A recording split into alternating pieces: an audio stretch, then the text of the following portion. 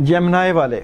जमनाए बुर्ज जोजा 2021 की बात करें जमनाई वाले की तो सबसे बड़ी खुशखबरी जिसका मैं आगाज़ करने लगा हूँ, दिमाग, आँखें और कान खोल के सुनिएगा कि 2021 को जब हम अकाई में तब्दील करते हैं तो पाँच नंबर मुफरत निकलता है। और आप लोगों का ज़ाती घर पाँच बनता है और पाँच नंबर ही आप लोगों का लकी नंबर बनता है।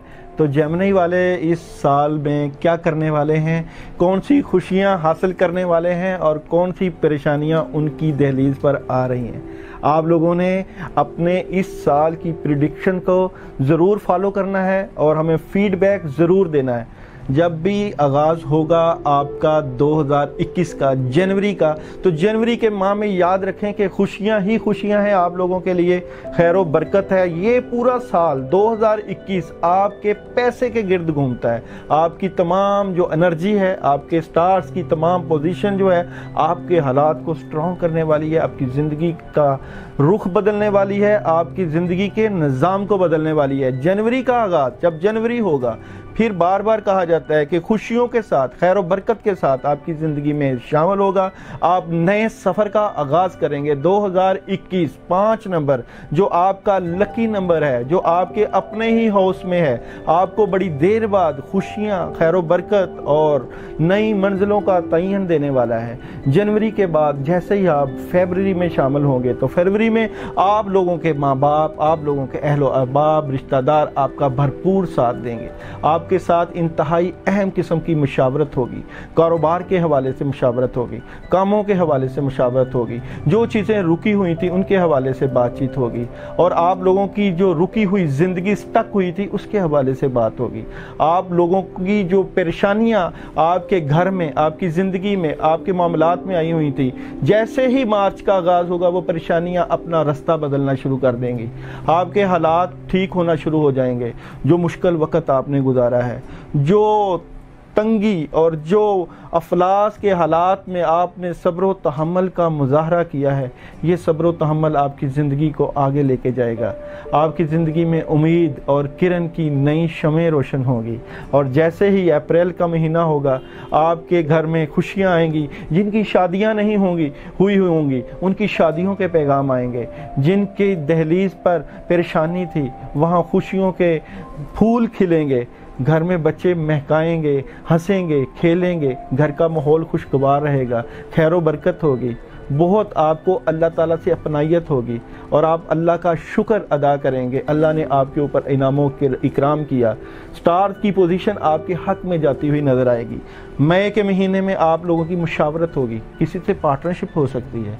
काम आपका आगे बढ़ सकता है और आप अपने काम को बढ़ाने के लिए, अपने पैसे और रिजक को बढ़ाने के लिए अकलो फ़हम के साथ, लोगों के साथ बातचीत करेंगे। ये बातचीत आपकी ज़िंदगी को नया रुख देगी। नए फैसले होंगे, नए कारोबार का आगाज़ हो सकता है। आपके घर में नया घर बन सकता है। आप जिस घर में रह रहे हो, उस घर की शिफ्टिंग हो सकती है।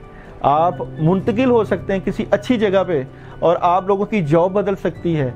यानी कि मई का महीना आप लोगों के लिए इंतहाई अहम हो रहा है। मई के महीने में अपने मामला को मज़ीद बेहतर करने के लिए आयत करीमा का विरद नहीं छोड़ना, क्योंकि आयत करीमा दुनियावी कामों के लिए, रिजक के कामों के लिए और खैर बरकत के लिए एक अहम पेश रफ्त साबित होती है। जब भी बंदे के ऊपर तरक्की और खैर बरकत आती है तो हसद हसद करते हैं। हासदीन के हसद से बचना है और ये हासदीन का हसद आपको जून के महीने में नज़र आएगा।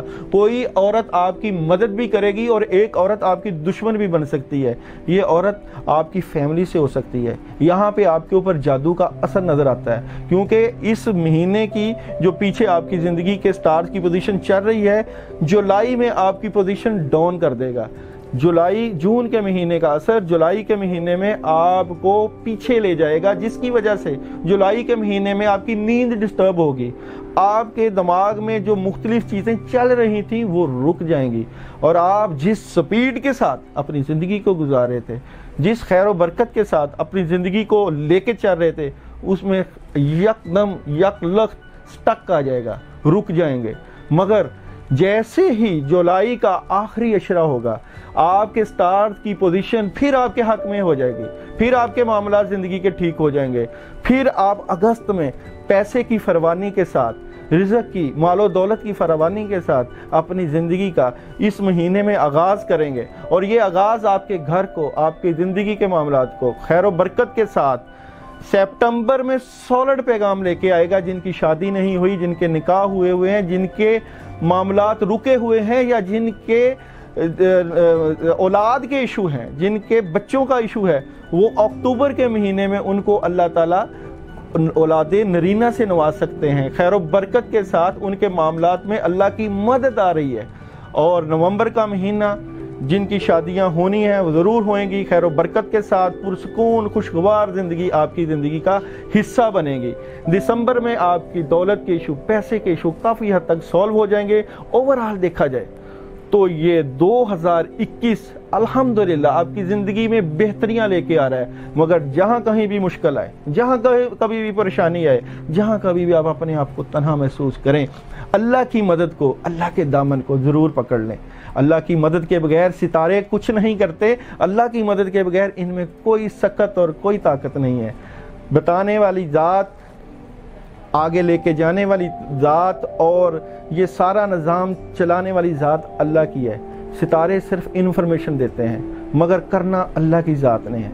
जब भी कभी खुशी आए तो सब्र शुक्र के साथ अल्लाह का दामन मजबूती से पकड़े रखें, और जब कभी कोई परेशानी आए, अस्तगफार की कसरत से, माफ़ी की कसरत से, अल्लाह के साथ, तल्लक के साथ इस साल को भरपूर तरीके से गुजारें। और हमें फीडबैक ज़रूर दें कि आपका ये साल कैसा गुजरा? अल्लाह आपका और आपके घर वालों का हामी और नासिर